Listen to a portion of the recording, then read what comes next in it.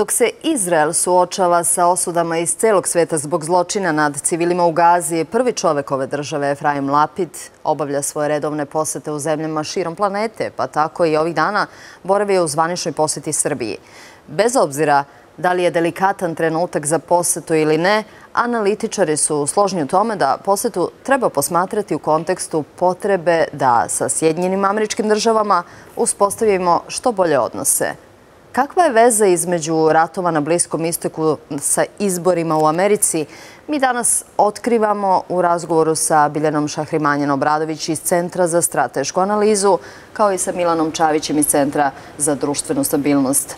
A na videovezi kasnije javit će se Dejan Jelača, kolega novinar koji je u Njujorku. Dobar dan, Dejane, evo već ga vidimo u ekranu i samim time pozdravljamo. Ali evo, za početak, Biljanu da pitamo, s obzirom da ste imali priliku da razgovarate sa prvim čovekom Izraela, je li tako, Efraim? Samo jedna ispravka. Gospodin Efraim je visoki obavešteni oficir izraelske službe, jedan od najuspešnijih i najpoznatijih, tako da on svakako negde zasigurno ima komunikaciju sa prvim čovekom.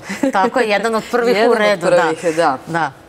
Ali, evo, kakav je prosto vaš utisak kada ste razgovarali sa njim. I on je takođe čovek koji e, nekako ne možete zaobići to pitanje njemu koje ste mu i uputili, a to je kakva je situacija u Izraelu s obzirom na pretnje i Hezbolaka i Hamasa. Da, general eh, Lapid je veoma aktivan eh, i pre samog 7. oktobra kada se desio teroristički napad. On je zaista eh, i učestvovao u mnogim operacijama izraelske službe bezbednosti i veoma je upućen i, na primjer, i na situaciju na Zapadnom Balkanu. Ono što se tiče pitanja prvo mi jeste zapravo, kao što ste rekli, bilo kakva je situacija u Izraelu i kakav je odnos velikih sila prema Izraelu. Ono što je on rekao da situacija 7. oktobra jeste eskalirala, da do dana današnjeg upravo Hamas i dalje pomoću nekih drugih država kao što je Iran lansira na hiljade rakete na teritoriji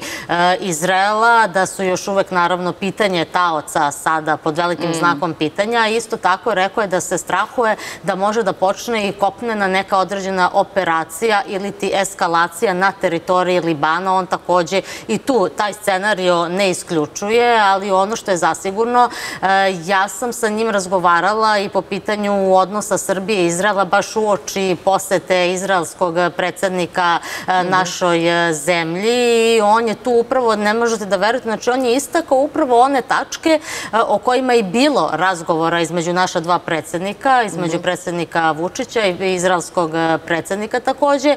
Ono što je najvažnije da je on istakao ključne tačke, da mi u stvari mhm. smo povezani i ekonomski i politički politički i istorijski i kulturološki. Izrael i Srbija. Izrael i Srbija, da. tako je. I on je rekao da su mnogi upravo jevreji nakon drugog svetskog rata pronašli svoj dom u Republici Srbiji, a isto tako je rekao na poljima na kojima možemo najviše da sarađujemo jesu ekonomija i tehnologija i da je Izrael spreman mhm. upravo da ustupi jednu određenu svoju tehnologiju Republici Srbiji vezano, na primjer, za poljoprivredu. To je ono čemu su i dva predsednika razgovarali, što nam je mhm. bilo i saopšteno u vestima. Nama je Izrael bitan e, politički i ekonomski partner, zato što i tehnološki pogotovo, jer oni su mnogo napredovali, mnogo su otišli daleko u tim tehnološkim inovacijama i tu će takođe biti jedna nit na kojoj ćemo mi sarađivati, jer važno, na primjer, recimo da oni mogu da urade taj transfer tehnologije, što znači da ponovo e,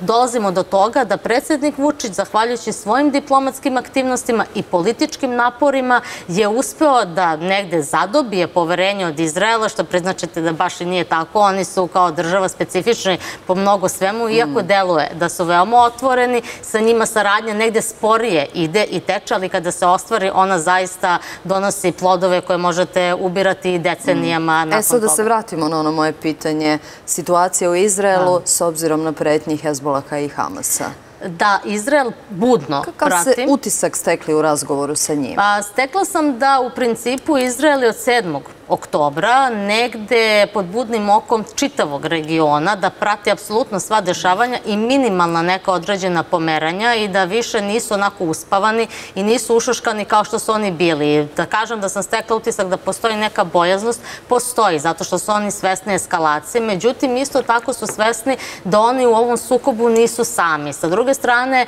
tu je jako dobro određena isto diplomatska ofanziva, kako sam ja mogla da zaključim, zato što je negde bilo pitanje da li će Iran da napadne ponovo Izrael, da pokuša i tu je negde bilo između 13. i 14. avgusta da to može da se desi, ali znači oni su uspeli to da spreče, tako da sada svakim danom ja mislim oni ustaju i bude se sa mislu šta može danas da nam se desi, međutim znamo da izraelska služba, obaveštena služba je jedna radi svoj posao. najmoćnijih, rade svoj posao i upravo imaju ljude koji nisu sedeli samo u Izraelu i negde unapređivali svoje znanje i vještine, nego su putovali po čitavom svetu i stekli su iskustva i zato je važno da i mi, kao Republika Srbija, sarađujemo sa najjačim obaveštenim službama u celom svetu da se ne bi desile neke situacije, zato što Izrael je takođe jak, imamo sa druge strane i američke obaveštajne službe, imamo i nemačke, imamo i britanske, tako da je bitno da sa svima imamo negde dobar odnos, jer kako oni kažu, negde i obaveštajci, ljudi koji su u penziji, da je uvek najvažnija ta razmena, pravo, pravovremena razmena informacija. Bez toga vi ste izgubljeni kao država, pogotovo ako ste mala. Jasno, informacije najviše vredi. A, ne znam da li ste ispratili medije, čak su i u više navrata u naslovima govorili o jednom terminu kao da je opšte prihvaćena, to je američki bliski istok. Tako su taj rat na bliskom istoku nazvali. Kakva je, evo direktnih pitanja, veza između Amerike i ratova na Bliskom istoku, s obzirom da smo evo sad i u e, izbornoj trci, ne mi, nego oni u Americi, i kako će ishod uticati na te ratove? Pa čuli smo i u debati koja je bila pre dva dana da, da svakako stav Trumpa i stav Kamale vezano za e, Bliski istok i sukob u Bliskom istoku. Ono što je Trump e, govorio jeste da do tog sukoba ne bi ni došlo da je on postao predsednik, da je bio predsednik. E, naravno, to su sve e, koristi u svoje naravno, propagandne svrhe. E, ništa krucijalno neće se desiti dok se ne završe izbori u Americi, niti ta ofanziva možda na Liban koja se kopnena predviđa. Mhm. Za sada takva situacija ne odgovara nikom i prema tome i tekako i Izrael osluškuje neke izvore iz Amerike i zbog toga svega toga je situacija trenutno pod kontrolom. Ono što nije pod kontrolom jeste ti E, porasta žrtava, pogotovo videli smo sad opet e, da je jedan kamp pogođen, da su opet e, neki ljudi, civili, pogotovo koji radi pri jedinim nacijama, znači civili koji pomažu, bolničari, ostali su žrtve, sad mislim da ih je šest juče ili sinoć, to se desilo, tako da to ne ide na ruku Izraelu. Naravno, ovaj rat sukob u pojasu Gaze kako jako težak, jer se oni kriju u tunelima, u kućama, štite se, kriju se iza, iza običnih ljudi i ta, zaista te, te žrtve su zbog toga toliko velike. Naravno, nisu očekivali da će biti toliko žrtava, preko 40.000 žrtava je e, tu se desilo i čak ni Amerika ne gleda naklono na to, nijedna država na svetu ne gleda na to. Videli smo i Međunarodni sud, naravno, kako je reagao. E, tako da definitivno će, kada se to sve završi, a nadamo se da će se završiti u skoriju budućnosti, e, neko će morati da odgovara zbog toliko žrtava i definitivno će, pa i Francuska i ostale države koje su zaista ozbiljne države su uh, zagovornici da odgovorni za takve propuste i toliko žrtava moraju da, da se odgovara. I, i sve pitanje šta posle toga, šta nakon okončanja sukoba, gde je ta crvena, gde je ta crvena linija, da, gde je ta crvena linija, to, to su pitanje. Jasno, nastavit ćemo razgovor na tu temu, evo da kad smo već pomenuli Ameriku zapravo, ceo svet i van Sjedinjenih američkih država prati i priča o, o američkim izborima, a naročito posle debate Donalda Trumpa i Kamala Harris, kad mi toliko pričamo o tome kako li je u Americi, odgovor zna Dejan Jelača koji je sa nama na video vezi, a željni smo svi ovde da čujemo ne mogu da kažem prve utiske, već je nekoliko ovaj, vremena prošlo, ali naravno da je to jedna od aktualnih tema u celom svetu. Kako je prošla debata? Kakve su, evo, lično tvoji utisci? Da li je ona nešto promenila? Pa evo, naravno, dobar dan vama i vašim gledalcima iz Njurka i gostima u studiju. Pa ono što jeste, ovo je, čini mi se, bila jedna od naj, najgledanijih političkih kampanja ikada i e, moram da priznam možda najuzbudljivijih e, od svih onih debata koje sam gledao ranije, to, to je gotovo sigurno.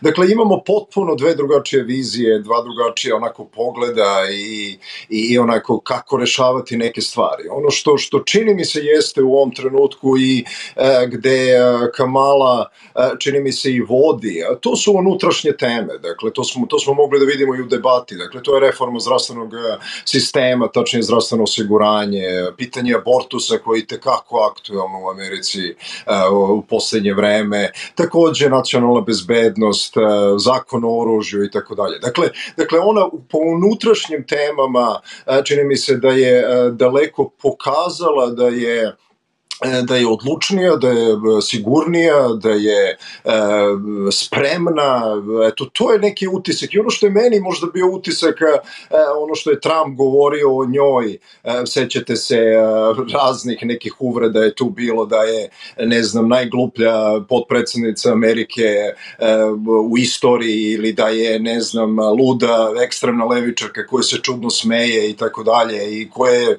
udata za jevreja, ne voli jevreje, pa ili ono što smo čuli čak takođe u debati, a to je ako potencijalno Kamala dođe na, na čelo Amerike, tako će Izrael nestati sa planete Zemlje. Dakle, e, neke čudne, onako čudne izjave od strane Trumpa e, i ono što, što, što jeste takođe zaključak, a to je pitanje koje možda i nas najviše zanimanje, to je spoljna politika. Dakle, ono što smo čuli A, i, i što, što je Trump, čini mi se, imao fantastičnu priliku da kaže američkom narodu, a i svetu, koji su to zaista konkretni planovi i za Ukrajinu, i za Bliski istok, pa čak i za konflikt Kina i Tajvana. Dakle, koje je to zaista, evo, čujemo posljednjih godinu dana, da, on, da je on bio predsednik, to se ne bi dogodilo. Da će on jednim telefonskim pozivom da završi i rat u Ukrajini i konflikt e, na Bliskom istoku i tako dalje, čak, čak i za 24 sata ili jednim telefonskim pozivom kako, kako obećava. Ali s druge strane, mi smo dužni da znamo koji je to konkretan plan? Dakle, ono što su govorili njegovi protivnici ranije, a to je da Donald Trump u stvari nema nikakav plan, nego da je u pitanju da se koristi i ovdje u Ukrajini i Bliski istok zbog jeftinih političkih poena. Ono što smo videli u debati je upravo to da postavlja se pitanje da li Donald Trump uopšte ima bilo kakav plan za Ukrajinu, da li uopšte ima bilo kakav plan za Bliski istok, osim opet obećanja. Jedne čini mi se onako uh, kontradiktorne te spoljne politike u izjavama, dakle vrlo konfuzne, vrlo diskutabilne.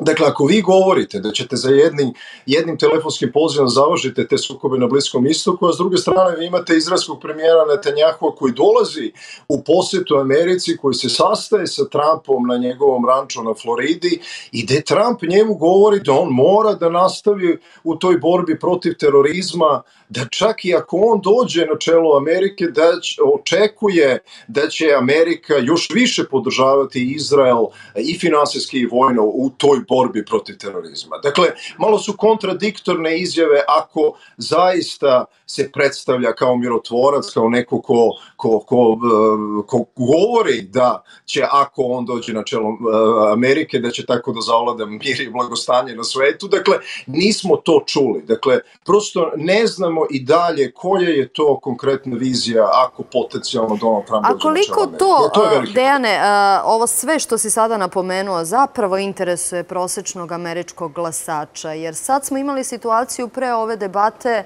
da su ankete i istraživanja donela 50-50 šanse za jednog i drugog kandidata. Međutim, ovo što da. si čak i ti izneo, a to su ti problemi abortusa, onda problemi i zdravstvenog osiguranja u Americi i tako dalje, čime se dakle više bavila Kamala Harris u debati, nekako zaključujemo da je dobila pa makar i ovo koliko kažu ankete 2 ili 3 odsto više u odnosu na Donalda Trumpa nakon ove debate koje smo gledali. Da li misliš da je to zbog toga što je zapravo u srž problema jednog prosečnog američkog glasača dotakla bukvalno poentu?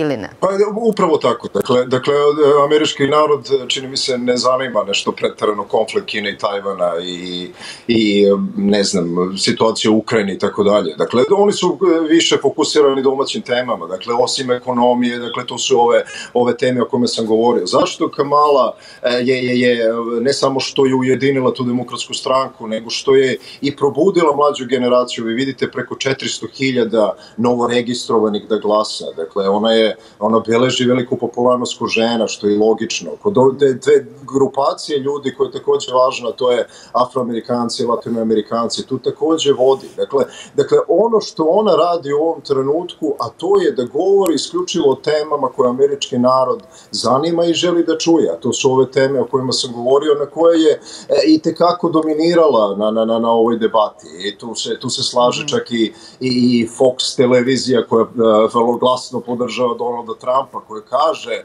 da je Kamala imala to, to veče i tekako veći uspeh i, i, i daleko veći i bolji utisak. Iz razloga što je delovala samouvereno, delovala je sigurno, delovala je spremno, e, delovala je da, da bar izgleda da, da, da razume i zna o čemu govori. Dakle, dakle, vrlo je važan taj utisak. A zašto je važan? Zato što je i tekako u ovom trenutku, dakle, imate preko 25% neopredeljeni glasača u ovom trenutku u Americi. Dakle, mhm.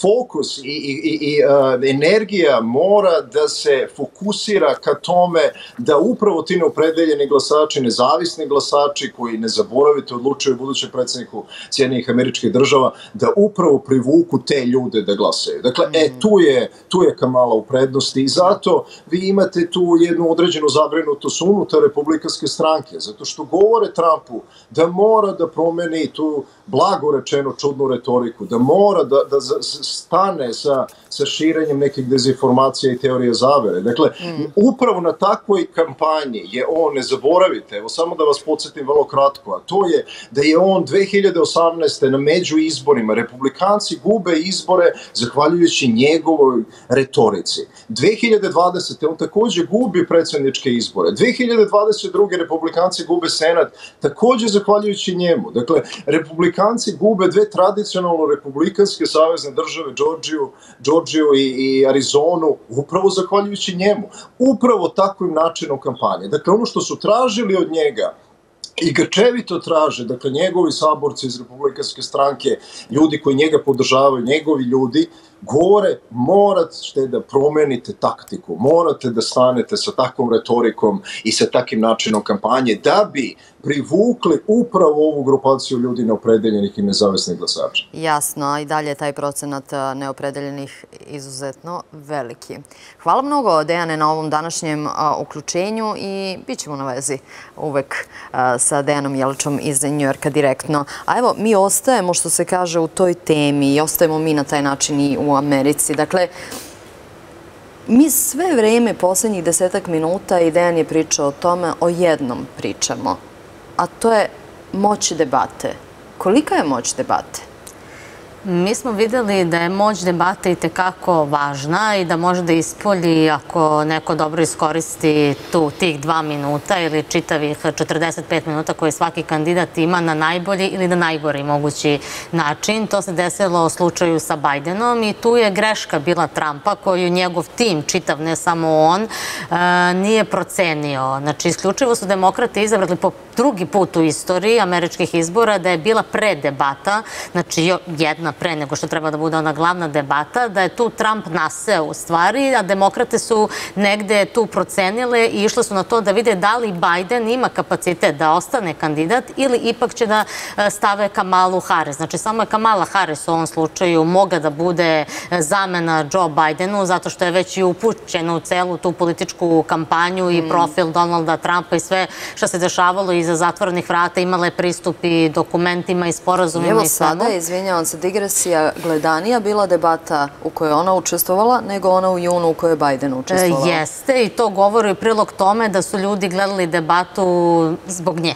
Znači da bi nju videli u toj debati, jer Trumpa smo mnogo puta već e, imali prilike da vidimo i onda su tu demokrate uradile jedan možda čak i najpametniji korak za e, svoju državu i slušajući negde prethodna dva dana analize mojih kolega analitičara, ja sam rešila da malo drugačiju analizu evo za Tanjug iznesem i uložila sam vreme da pronađem neke određene podatke nakon debate koje su Sjedinje američke države i njihovi mediji izneli. Znači, prvi jeste da po glasanju nakon debate Kamala Harris je imala 6% prednosti onih ljudi koji su glasali. Znači, to ne mora da znači da je čitava Amerika, nego oni koji su želeli da učestvuju u tom glasanju, što je svakako za demokratsku partiju već neki znak.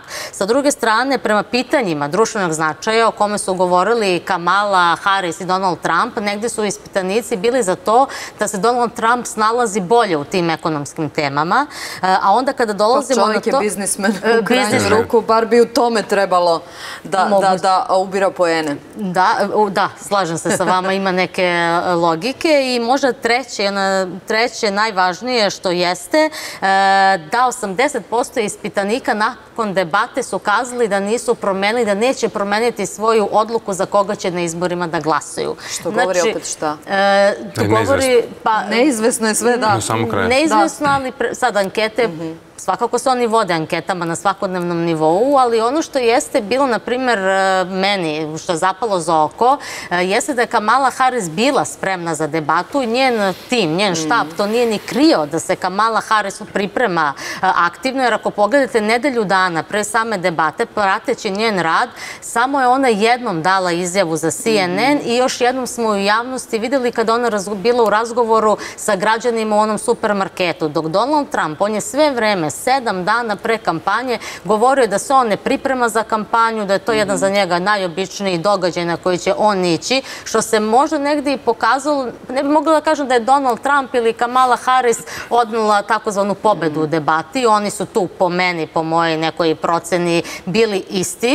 E, zato što jedina možda stvar koju je Kamala Harris e, i uradila dobro, imamo jedno dobro za Trumpa što sam ja primetila, jeste da je ona u svojoj jednoj rečenici, u svom jednom odgovoru govorila o tome, o NATO-u. Znači, o tome kako je NATO jedan od najjačih saveza koji ikada svet znao i šta su oni uradili za Zelenskog e, i za Ukrajinu, ali ono što je usledilo nakon toga, to je ono gde ona, na primjer, recimo Trumpa možda malo onako e, pobedila, sasekla, jeste da on ona je njemu rekla, kaže, e, vi šta biste uradili kada biste vi bili predsednik, šta biste uradili, da, koliko bi se brzo vi predali i šta biste rekli rekli, 800.000 e, američkih Poljaka koji upravo žive u Pensilvaniji, šta biste vi njima dali kao odgovor vaše predaje Putinu, kako biste im to objasnili? Da je Donald Trump tu nije imao, znači, na primjer, recimo, dobar odgovor, on je ponovo krenuo da priča o tome kako će onda zaustavi rad za godinu dana. Znači, opet smo imali istu mhm. retoriku. Čak,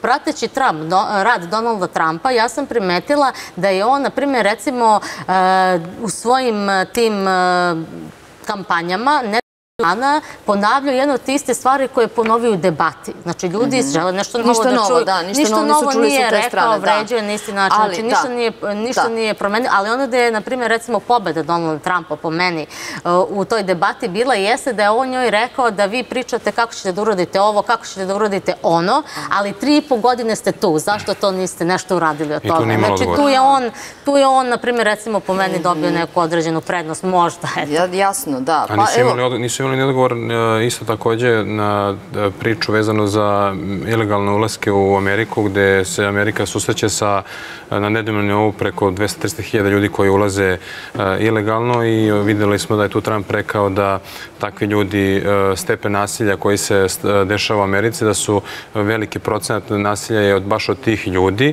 i oni ugrožavaju ekonomiju bezbjednosti i sve ono što se tiče upravo običnog Amerikanca. On žele da bude bezbedno, da se osjeća bezbedno u svojoj državi i na to nisu imali odgovor i dalje demokrate ćute, izbjegavaju vešto e, odgovor na to pitanje, jer svi znamo kada je Trump bio da je on dizao neograde, da je dizao kontejnere, sve žice i da je tu dosta e, sprečeno ulazak ilegalno, ali sada od, od ove administracije Joe Bidena zaista tu se onako baš e, relaksiralo i, i ogroman ulazak migranata je bio i on se dešava svakodnevno i to stvara zaista ozbiljnu pretnju po bezbednosti svih Amerikanaca. I, I ovo što smo zaključili neizvesno neizvesno će biti. Neizvesno će biti, pogotovo zanimljivo da. za nas koji pa evo, pratimo kolegica sve. pomenula Pensilvaniju, taj isto Pensilvanija može da, da presudi ko će da pobedi na izborima, tako da zaista tu su, jako su nijanse u Male pitanju. su. Male su, da, i ova debata jeste, Kamala je bila dobro se pripremila, neočekivano dobro je postupila, ali opet kažem, nije ni ono Trump za poceniti da je bio senilan, da nije mogao da izdrži 90 minuta, apsolutno je pratio sve,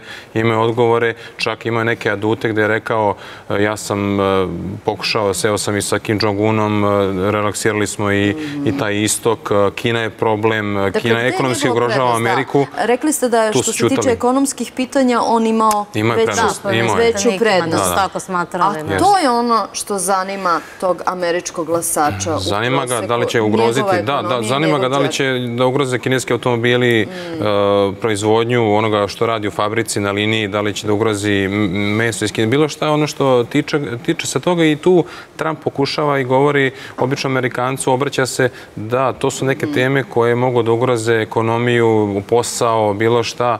Što se tiče toga i Kina će kroz naredne godine i biti velika pretnja za Ameriku po ekonomiju. I mi smo sad, ka, ka, kažete... Da, ono što bih htjela da se nadovežem vezano za migraciju i sve to oko granice Mm. i Teksasa. Ja sam imala priliku prošle godine da boravim u Teksasu i baš u Dallasu i bila sam gost u redakciji Dallas Morning Newsa sa njihovim glavnim e, urednicima, što televizije, što štampanih e, medija i naravno pitanje jeste bilo oko granice i kako se oni nose sa tim, jer negdje je Teksas, ako se ne varam, e, on glasa za republikance, jeste. za republikance, a da je tada već bilo da može da bude to da se desi po prvi put da oni glasaju više za demokrate. Za demokrate. Međutim, na, na pitanje oko granice, oni su rekli da se oni suočavaju sa velikim brojem dezinformacija. Znači da oni imaju ogromne fact-checking timove koji proveravaju odakle su ti izvori pušteni, na kojim jezicima, da oni moraju sve to da razobličavaju i na kojim jezicima. Najviše ima, kažu, na španskom jeziku, pa nakon toga ima na engleskom, ali to sa španskog se preko raznih kanala i društvenih mreža preliva na engleski dok stigne do Amerikanca. Znači, to je totalno druga priča, da, da taj broj dezinformacije koji oni dobijaju po pitanje granica, po pitanju prelaska migranata, da su to možda i najveći izazovi sa kojima se oni susreću. Znači, to je nešto što je definitivno. Ali ja sam istraživala, na primjer, recimo, zanimalo Kako me... onda mi da dođemo do pravih informacija? Ako njihovi, da. Da, ako oni Da. ne mogu, koji su, tako reći, tu ու no лицо место. Jest, da, zato je bitno da, da se idu, idu ljudi upravo i da idu i novinari, da posećuju upravo te redakcijske kuće sa kojima mogu da razmenjuju ta istraživanja, koje može nešto da se implementira. Jasno, da bude što verodostojnije. Možda i kod nas, ali ono što nisam videla da neko komentarisao u javnom prostoru, mene je strašno zaintrigiralo koliko je do sada bilo republikanskih predsednika, a koliko je bilo demokratskih predsednika. I onda sam došla do podatka da od 1968. godine, kada je prvi put postao Abraham Lincoln predsednik republikanaca, od tada pa do 2021. republikanci su imali 19 predsednika, a demokrate su imale 14, a između je bilo nekih drugih e, partija. Tako da vidimo da su i tu u tesnoj negde određenoj trci, znači jedan deo, ne tako veliki deo, ajde da kažemo decenija, već ako pogledamo koliko traju mandati, da su republikanci bili ti koji su vladali Amerikom, ali sada ćemo da vidimo jer sve se menja, ekonomija. E, Nama je važna ekonomija da je dobra za Amerikanca. Ako je dobra njihova ekonomija, to onda znači da će biti dobra i ona druga svetska ekonomija, da će oni moći više da ulažu. Da ćemo mi kao Srbije, na primjer, recimo, moći da imamo više američkih kompanija, više radnih mesta. Ako je njima unutrašnja ta ekonomija dobra za Amerikanca, znači oni imaju kapacitet i da otvaraju još novih radnih mesta van svoje zemlje, tako da američka ekonomija za prosječnog Amerikanca znači boljitak i našem negde stanovniku. E, Da, i vratit ćemo se na taj bliski istok i povezano sa Amerikom. Samo još jedno pitanje i shvatanje. Dakle, ovo što je Dejan Jelača e, napomenuo, a to je da i dalje 25% Amerikanaca je neodlučno po pitanju izbora koji gore, dakle ulaze u sam ovaj finiš, ako tako možemo reći. A, a mi ovde imamo dve potpuno različite vizije Amerike. Jednu, demokratsku i a, drugu, republikansku. A, šta će se desiti sa ovih 25? Odnosno, kako privoleti njih da glasaju i da se odluče? I imaju li vremena kandidati da se bave time? Pa morat će imati vremena. Zaista to je ogroman kapacitet mm. neiskorišćenih e, glasova. Koji bi mogao da bude ključan. Pa, apsolutno. U ovoj sada... Privoliti ih animirati da, da izađu na, na birališta, da, da glasaju. Čime? Pa, ponuditi, znate šta, većina stvari se naravno tiče lokalnog tipa, njih zanima naravno bolje radne mjesta, bolje plate, bolje zdravstvo i to sve. Po pitanju zdravstva, po pitanju sigurnosti i tekako tu treba biti, vidjet ćemo da će biti sljedeća debata, da će Trump pristati, on je traži još dve debate, da li će, da li će se to desiti, veoma sad zanimljivo posle ovoga svega, ali zaista to su neke stvari gde bih, ja evo, lično ciljao bih na taj deo sigurnosti i zdravstva, jer svi znamo da u Americi i dalje problem sa tim, sa tim zdravstvom dosta građana nema mogućnost i tog lečenja i troškovi su zaista veliki, a ono što svakako jedan deo i tih od 25 definitivno njih zanima i svakako mir u svetu, možda to populistički zvuči, ali i tekako ih zanima i Amerikanci sada znaju ko je Putin, znaju sigurno i znaju svi da je Rusija ima nuklearne rakete. Da, u tom smislu ta svetska moć. Svetska bezbednost i tekako, da, i to je to je to nešto što i njih, kako će Amerika reagovati, da li će Amerika da, da učestvuje u nekim mirovnim procesima, da li će da zategne odnose, zaista i to je nešto što Amerikanac koji malo onako šire čita, gleda, mm. može da kaže, pa čekaj, mene zanima kako ćemo mi da učestvujemo da rešimo sukob na mhm. Bliskom istoku ili u Ukrajini. To su isto stvari. Apsolutno, naravno, pa i opet Amerikanac treba da, da učestvuje u ratu ako će mhm. biti globalni rat i onda bezbednost upitna i tako da i tekako ih zanima i taj segment. Svakako. Jeste, i taj Bliski istok je generalno uvek bio geografski i ekonomski, od uvek je nekako privlačio glavne aktere na svetskoj političkoj sceni. Pa svi znamo zašto, najviše zbog A moje pitanje, može li taj region, taj Bliski istok, da utiče na ravnotežu snaga među tim silama kao što su Amerika, kao što je Kina, kao što je Rusija? U razgovoru sa generalom Lapidom, sad kad ste mi poslali to pitanje, setila sam se da je on rekao da ovaj rat koji sada vode sa Hamasom i sa kojim može da se, može da se uključi negde i Hezbolah, da, da može da dođe do negde prekomponovanja uopšte cele Islamske republike i koncepcije i celog tog regiona, da će se mnogo stvari u geostrateškoj situaciji tu promeniti sa ovim ratom kakav god on ishod na kraju imao. Svi se nadao da će samo da se zaustavi taj rat, ništa drugo ih e, ne zanima. E, Bliski istok jeste zanimljiv zato što je on turbulentan, on je veoma zapaljiv i tu su negde e, Amerikanci uspeli unazad godinama da kako tako barem održavaju neki balans, iako su Izraelci bili izloženi tome da barem jednom mesec dana odlaze u skloništa mm. zbog određenih pretnji i lansiranja raketa sa svih strana, jer je Izrael u tom neprijateljskom okruženju. Međutim, kada se vratimo na celokupan svet i kada pogledamo šta se dešavalo unazad, ajde da se ne vrćamo baš na 2022. godinu, malo bliže da idemo. Od prošle godine, u septembru mesecu, imali smo tri e, katastrofalne nedelje. E, u, tri, u tri nedelje su se desile da se zapale u Evropi i na Bliskom istoku žarišta. Ako pogledamo koje su to sfere uticaja, koje tu zemlje imaju negde svoju e, šapu, tu onda krećemo od Ruske federacije, makoliko god nekome to zvučalo sada mm. nestvarno, ali postoji objašnjenje za to. Mi kada otvorimo geografsku mapu i kada vidimo šta je to, prvu nedelju smo imali u septembru mesecu da se desio slučaj u Banjskoj, znači destabilizacija, totalno je bio haos. Nakon toga, sledeće nedelje kreće sukob između Azerbejdžana i Jermenije i egzodu 100.000 Jermena. Treća nedelja se zapaljuje Bliski istok. Mhm. Znači tu samo jedan akter ima svoj interes, a to je Ruska federacija. Htjelo neko to da prihvati ili ne, to je definitivno tako. Znači vidimo da zemlje koje žele i teže ka tome, ka demokratskim principima, ka evroatlanskim integracijama, kada su na korak negde možda da imaju malo bolje odnose, da ipak taj akter koji vlada i može da vlada samo u haosu, izvozu haosa kao što je Ruska federacija, oni su spremni i sposobni su da zapaljuju te regione.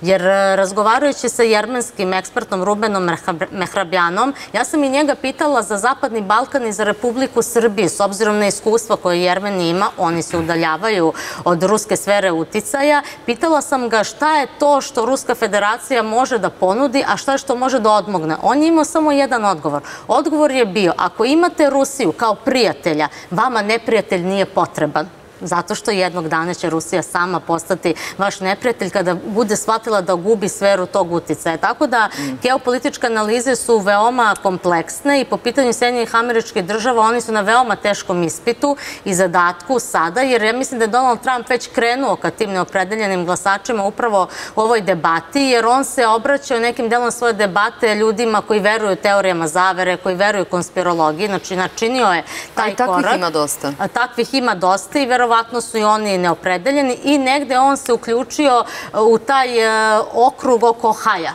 Znači, Ohio ima dosta demokratskih glasača, a Ohio je taj koji negde pokušava da e, motiviše mlade glasače da glasaju, on je između 18 i 25 godina. Tako da mislim da on imao dve ciljne grupe u svojoj debati ka kojima je već krenuo da se obraća. Dakle, e, debatu je gledalo više od 67 miliona ljudi. U junu debatu je 50. sa Bajdenom gledalo 51,7 miliona.